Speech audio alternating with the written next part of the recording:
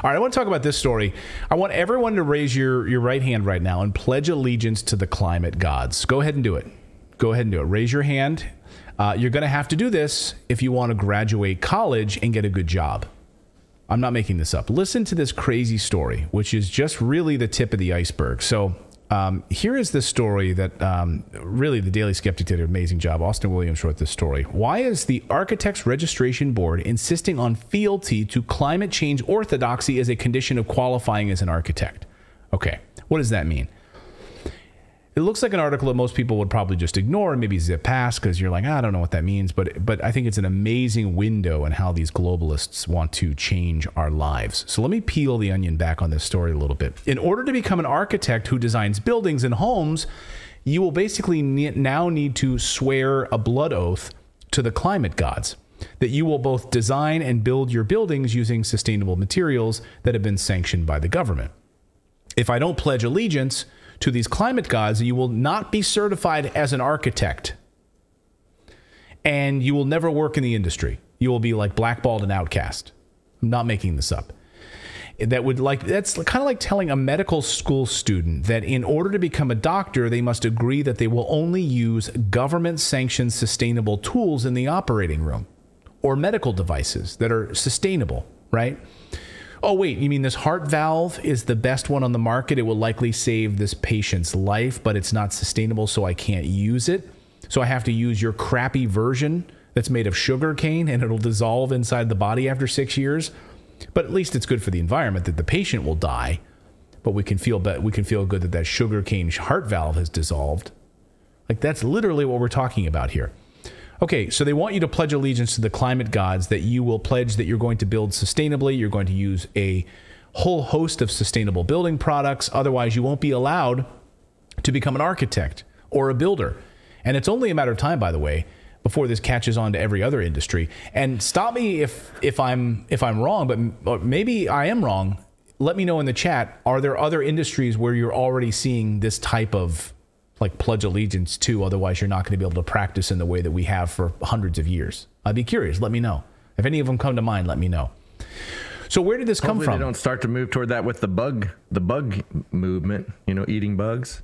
I pledge allegiance. I pledge to eating bugs for the future well, for sustainability. They already are in schools, so they're probably a part of it. So where did all this come from? I mean, this it came from the same clowns that Dave was just talking about, like the World Economic Forum and the United Nations. Um, it was born out of something called Agenda 21. Now, for those of you, you have to go back to 1992 at the Earth Summit in Rio de Janeiro, Brazil. More than 178 countries adopted what was known as Agenda 21, which was a comprehensive global plan for sustainable development to improve human lives and to protect the environment. That was just the starting point. Now, what you're seeing here on your screen is the second step.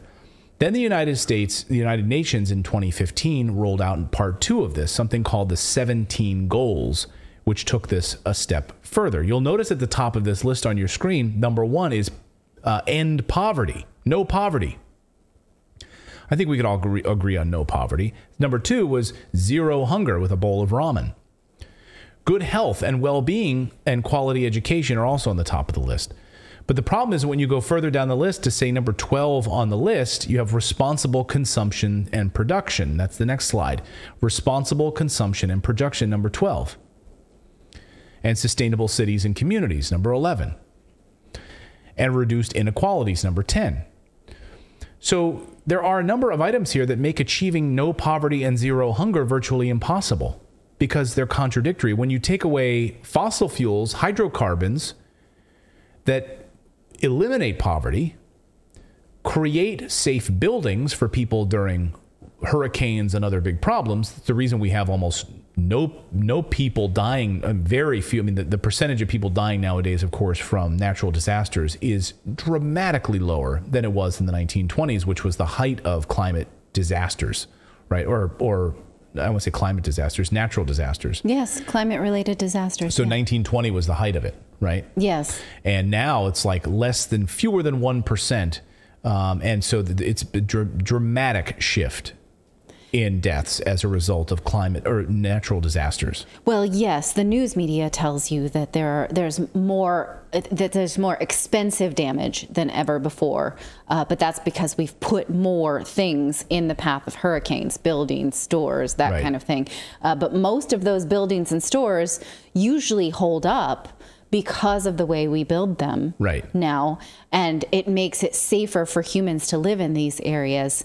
Uh, so you know you have to ask the question: Does do we compromise the sort of integrity of a building in order to you know meet these climate goals? Michael in our chat says contrast the Galveston hurricane with today's. Oh yeah, Yeah, Galveston was set to become the next New York City as a port, right? The major port in the United States, destroyed, never recovered, never recovered. That was what 1901 was the Galveston hurricane. Maybe I'm wrong. Check, let, fact check me on that in the chat. But uh, excellent book on that book, uh, by the way, Isaac's Storm. If you ever want to read an excellent book on the the Galveston hurricane, um, Isaac's Storm uh, was really fascinating take on that. Um, anyway, so yeah, when you start when these contrasting things, you want to end poverty, right? You want to get rid of, you want to um, end hunger, but at the same time, you want to take away fossil fuels and hydrocarbons and force people to get solar panels and electric cars. You actually are you can't achieve that because what you're doing is you're actually sending more people into poverty. So your 17 steps won't work the way it's laid out. And recently, that's become apparent. In fact, they use these 17 goals. They found out that they're not in alignment at all, and the whole plan is a mess. In a report out this morning, November 17th, 2022, the United Nations is quietly acknowledging that these 17 goals clash into one another. Facing up to shortfalls and trade offs in the Sustainable Development Goals. Well, these 17 uh, Sustainable Development Goals need rescuing, a global sustainable investors group warned recently. They're a collection of 17 goals, but they've got problems. So I'm quoting now. The, SG, the SDGs are a collection of 17 goals, blah, blah, blah, but they are in peril, says the article. The yearly gap in financing of the SDGs for developing countries is estimated at 2.5 to 3.6 trillion per year because these things don't work. $3.6 trillion per year because this doesn't work. So we're just wasting that money. So in order to hit this goal, they need to spend 3.6 trillion. Imagine what we could do with that kind of money if it was being spent correctly, investing in say nuclear energy power around the world for example. Just think what we could do with that money instead of wasting it on this garbage. So when I saw this architect report, I thought, "Hmm, has anyone stopped to ask the question as to whether or not these products actually work or not? Or are they in fact sustainable at all?" After all, these architects and these builders are being told to use these things where they can no longer build. Meaning that we're told that these new types of bricks or these new forms of drywall or these new sustainable insulation are great for building or the environment. But has anyone asked if they actually work to build the properties like regular products? And are they in fact any more sustainable, you know, than the stuff we've been using for decades, like bricks? or I don't know, uh, shingles or paint or I, I mean I don't know. Like I'm just thinking like what you're just saying words. I'm just thinking like I'm just trying to think of the most mundane stuff we've been using since like the Flintstones, you know, like rocks. Like so is it more sustainable wood? There's one, wood. They have a problem with wood. Well, actually, uh, recently, I can't remember where I read this. National Geographic or something did a report about how we have a shortage of sand, which we need to make things like concrete and, and roads. You know, when you mix sand, um, and the world is like may run out of that, so we need some kind of Oh, maybe there you go. Well, maybe you found the answer then. Maybe that's why we can't use normal stuff anymore. Um, yeah, maybe maybe you cracked it. I don't know. Well, it turns out a lot of people are asking these very same questions, and it also turns out that a lot of consumers are not happy with a lot of the sustainable products, mostly because they don't work as well as the products we've been using for years. By the way, how are we we going to run out of sand? like, really? Okay. Go. You know what? Go to your kid's kindergarten and go in the sandbox. There's plenty of sand. That's not a point, but okay. I wouldn't. Yeah, I would not want to touch that sand. That's You're how you get hand to foot disease. You're right. You get what? Hand to mouth. Coxsackie disease. Ham- Don't touch a kid's sandbox. Um, so that could be why, because of all these problems now with these sustainable products, that could be why the United Nations is trying to hide the climate data and the problems with sustainability products by altering our search results in Google.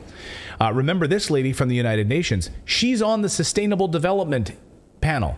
She's part of the impact meetings on sustainable products. She's literally telling us how they censor search results. So when you go to find out if, hey, these things are sustainable in your home, you're going to have buried search results thanks to the United Nations. Watch. you know, we partnered with Google, for example. If you Google climate change, you will, at the top of your search, you will get all kinds of UN resources. We started this partnership when we were shocked to see that when we Googled climate change, we were getting incredibly distorted uh, information right at the top. So we, we're becoming much more proactive. Um, you know, we own the science, and we think that the world you know should know it and and the platforms themselves also do um, but again it's it's it is um, it's it's a huge huge challenge that I think all sectors of society need to be very active in Yeah. Have you ever gone to a desert? Go to the desert. Have you seen? I mean, anyway, I don't know if you've seen the latest uh, uh, John Wick movie where he's in the desert. There's a lot of sand there. You can go find a lot of sand. This is not science. Weird. Isn't the science. Sahara all sand? I think so. Um, so she's she's part of the sustainability project. Let, she's telling you how she's partnering with Google to modify search results. So when you want to go and find out about type of building materials, you're not going to find it because it's buried, hidden. Let's hide the data in our search results so people can't ask questions. Let me Google the question: Is sustainable? You know, is sustainably made insulation better than regular insulation for my house? No results were found. I wonder why. Thanks, lady. Have you ever used sustainable laundry detergent or sustainable dishwasher detergent? There's a reason your dishes come out of the dishwasher still dirty, with still a piece of salmon stuck to the side of the fork. Uh, because you don't rinse your stuff before you No, put it in no, the no. dishwasher. That's why. No, it's because this shit doesn't work. Uh, because somebody No, no, no. puts the don't, de- peanut no, butter. don't, don't, don't derail it. it. It's because this stuff doesn't work. When you use real detergent or real dishwashing liquid that we've been using for decades, it What gets are the you talking it about? It gets the peanut butter off the damn knife. No, I'm it doesn't. Yes, it does. People waste more money then cleaning the dishes a second time. So they take it out. They use this like sustainable dishwashing gel or whatever the hell it is that doesn't clean anything. Even the hard stuff does not take peanut butter off the knife. You have to wipe right, it. all right. Enough with the peanut everybody. butter. That I will never stop enough until with the peanut stuff- butter. But the, the stuff doesn't work. So then you what the problem is you take it out of the dishwasher and then you wash it a second time and therefore you're using twice as much water. So it's actually worse for the environment when you use half of this stuff. Oh look, all of You our were forks and describing knives. my nightmare. Yes, all of our forks and knives are still dirty. has the- all these. Yeah, she has this um, like sustainable. I don't know what it is, but they're these little dishwasher pods, and they like crumble when you just touch them and you put them in there. They don't do. I, I, every dish comes out like not clean. I'm Yeah. like, why are we? We they're, and they're more expensive. Yeah, they're more Yeah. expensive. They're more. We're going to get into that. They're more expensive. They don't work, and then you have to use more water to clean them again. Great for the environment. Yeah, and also um, when if you've ever had your machine serviced by a machine repairman or just like do regularly scheduled service on your machine, they'll tell you don't use powder in your machines. It basically rips apart the machines. You want you want liquid. So those little like powdery things, I was using them too. And then you see half of it is still there Yeah. when you open the dishwasher because it hasn't completely dissolved and then the dishes are all still dirty. This yes, I understand. It's a scam. It's a I've been scam. there. Anyway, this this whole soap story is just an a- anecdote for you, but it turns out that a lot of people have been asking these types of questions about these products for years, so that the research is now being conducted so they can come up with a plan on how to talk you into using these products, even if they don't necessarily work. As this new research paper just released this summer describes, it's called Sustainability When Sustainability Backfires. This is a crazy research project that I dove through this morning, and it's unbelievable. And it looks at the negative perceptions of these sustainable products and how they try to talk you into using them. Here's a quote from the study to achieve the United Nations Sustainable Goal number 12, which remember was the sustainability part of that. Remember number 12? To ensure sustainable consumption and production. A thorough understanding of potential unintended negative side effects of sustainability is essential. Such understanding enables the development of effective mitigation measures. Companies can take action to avoid negative side effects or even turn the risk of their sustainability action backfiring into a positive by leveraging it to increase demand. The required understanding of why negative side effects of product or service sustainability occurred, however, has not yet been developed. so you get that? The required understanding of why negative side effects of product or service sustainability occur, however, has not yet been developed. Many key questions about the mechanisms that lead to negative side effects of sustainability remain unanswered in these existing literature, which is highly, highly fragmented and spreads across a wide range of diverse business disciplines. The report explains how consumers are often skeptical that these new sustainable products even work as well as the stuff they've been buying for years. And the report highlights how researchers basically ignore the negative impacts of sustainable products. Instead, they only highlight the good stuff.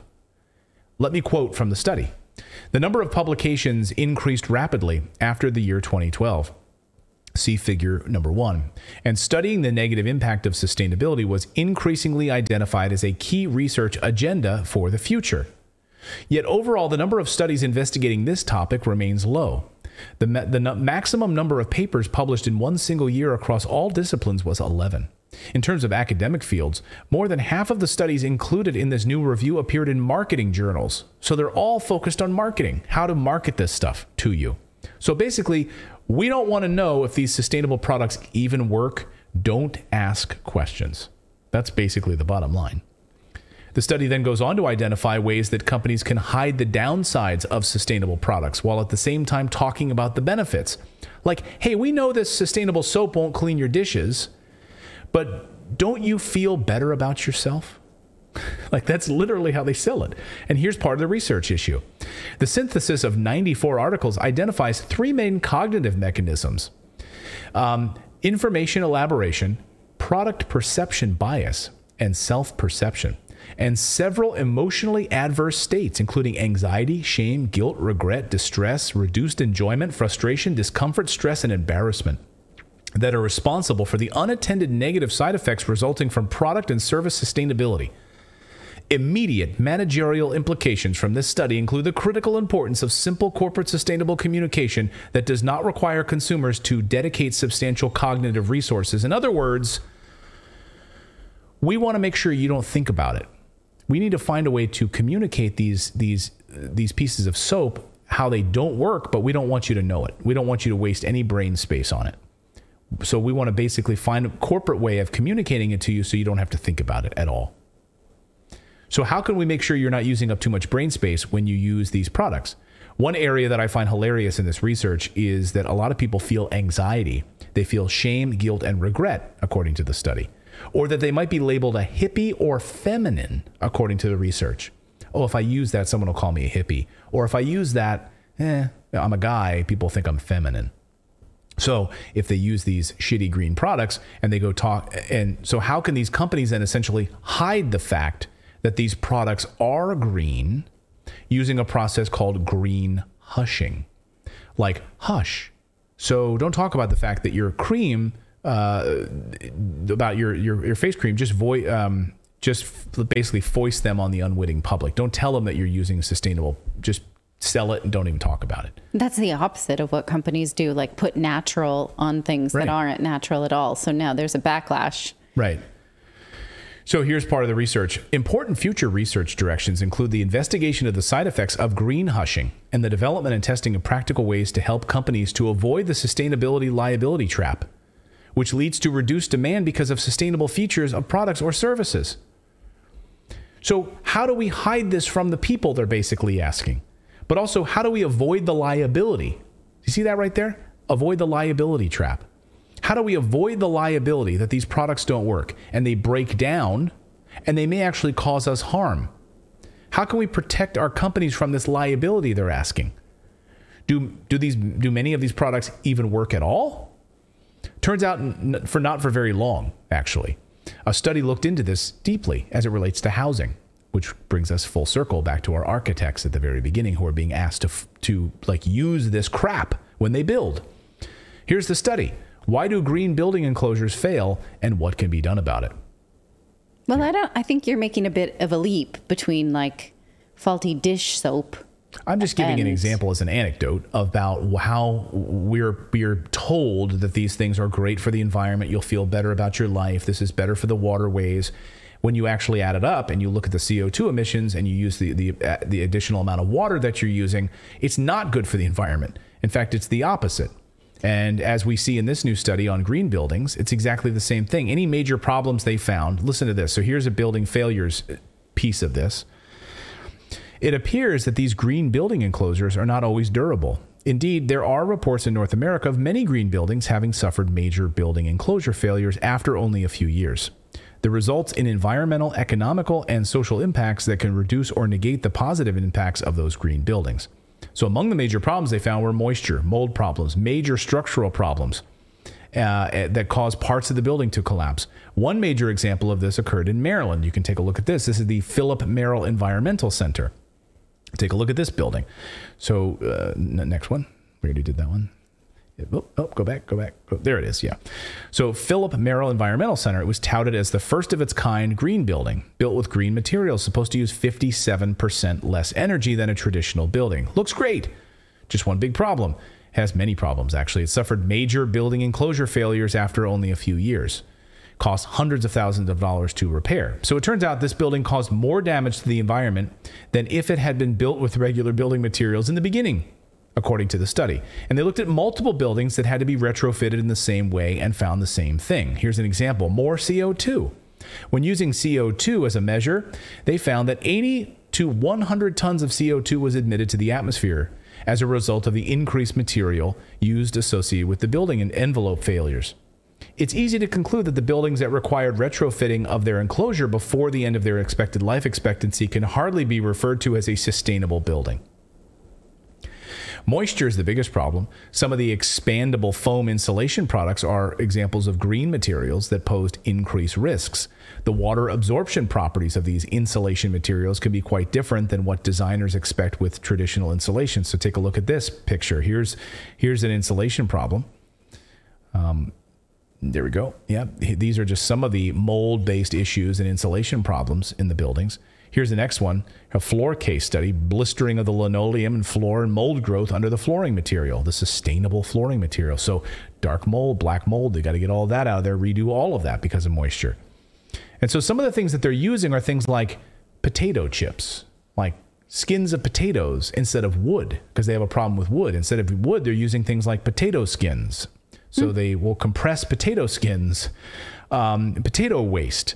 Um, this is according to the McCann Institute or McCann Foods, a British frozen food company. They source their potato waste. They're being looked at as alternatives to current wood paneling. So turning chips into boards and I if soundproofing you materials. if you still get termites if it's not wood. Uh, but they probably just eat the chips. I mean, you would think, right? They just eat through the chips. Here's another one: mycelium walls. Take a look at this. This is uh, mushrooms, right? Uh, as we learned from Philip the other day, mycelium. Yes. Um, this is uh, mycelium walls, lightweight, but you have to use abandoned houses with demolition waste. They combine that trash with blended mycelium mushrooms as a fungus called biocycling, and to put these new materials together. You have another one called hempcrete. Hempcrete is actually um, pretty good, uh, although uh, there's still questions about moisture control and so forth. Um, and so all of these different building materials. So bottom line is, you're asking these architects to pledge allegiance to these climate gods and to put things in buildings that we still do not have a long track record that actually work.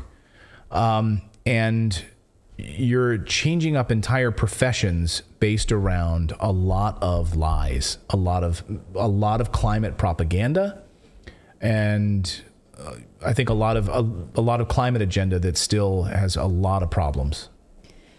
Okay. Um, but I mean, you have to start somewhere, right? That there's no no harm in innovating.